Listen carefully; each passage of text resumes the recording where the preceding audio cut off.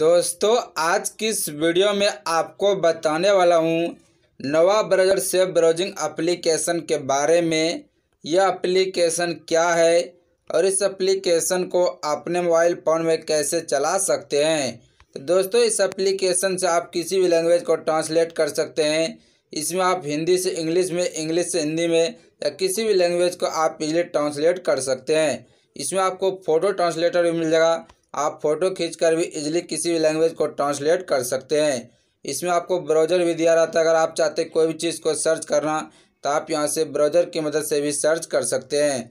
इसमें आप Facebook Twitter YouTube Instagram को बिना डाउनलोड किए भी आप इजीली यूज़ कर पाएँगे। तो इन सारे फीचर को आप कैसे यूज़ कर सकते हैं? आज की इस वीडियो में आपको कंप्लीट डिटेल दूँगा।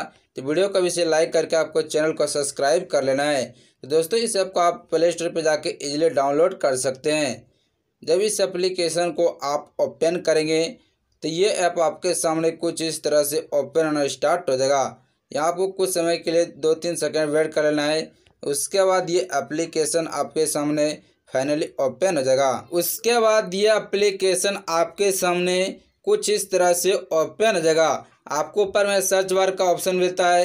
अगर आप कोई भी चीज़ सर्च करना चाहेंगे तो आप यहाँ से इजीली सर्च कर सकते हैं। जैसे कि मैं यहाँ लाइन सर्च कर देता हूँ तो सर्च करने के बाद देख सकते हैं कि आपके सामने लाइन का जिस तरह से क्रोम और गूगल पर रिज़ल्ट आता है, उसी तरह से आप उस रिज़ल्ट को देख सकते हैं। आपको टेक्स्ट का ऑप्शन मिल जाएगा अगर आप चाहते कोई भी लैंग्वेज को ट्रांसलेट करना तो आप यहाँ से ट्रांसलेट कर सकते हैं। आप जो भी ट्रांसलेट करना चाहते हैं, आपको यहाँ पेस्ट कर देना है। पेस्ट करना है तो आपको साइड में यहाँ लैंग्वेज मिल जाएगा आप जिस भी लैंग्वेज में ट्रांसलेट करना चाहते हैं, आपको यहाँ सारे लैंग्वेज अवेलेबल है, आपको सेलेक्ट करना है, उसके बाद आपको ट्रांसलेट पर क्लिक कर देना है। जैसे आप ट्रांसलेट पर क्लिक करेंगे तो ये जो आपका ट्रांसलेट होना स्टार्ट हो जाएगा। तो अभी देख सकते हैं मेरा हिंदी से इंग्लिश में ट्रांसलेट हो चुका है। इस तरह से आप किसी भी लैंग्वेज को ट्रांसलेट कर सकते हैं आप। टेक्स्ट के बगल में आपको ओसीआर का ऑप्शन मिलता है। अगर आप चाहते हैं फ़ोटो खींचकर ट्रांसलेट करना तो आप यहाँ से फ़ोटो खींचकर भी ट्रांसलेट कर सकते हैं। अगर आप चाहते हैं अपने फ़ोन में वीपीएन को कनेक्ट करना तो आपको स्मार्ट सर्वर का ऑप्शन मिलेगा। इस पर आपको क्लिक कर देना है। क्लिक करना तो आपको इस ऑन ऑफ़ पर क्लिक कर देना है। जैसे आप क्लिक करें, आपको परमिशन मांगा जाएगा। आप ओके जैसे करेंगे तो आपके फ़ोन में वीपीएन कनेक्ट हो जाएगा। उसके नीचे अगर आप गूगल को यूज़ करना चाहेंगे तो आप गूगल पर क्लिक करके आप इस एप्लीकेशन में गूगल को भी यूज़ कर सकते हैं। अगर आप फेसबुक यूज़ करना चाहेंगे तो आपको सिंपली फेसबुक पर क्लिक करना है। आपको फेसबुक डाउनलोड भी नहीं करना पड़ेगा। आपका जो भी पहले से आईडी बना हुआ आपको यहाँ से लॉगिन कर लेना और आप यहाँ से फेसबुक को भी यूज़ कर सकते हैं।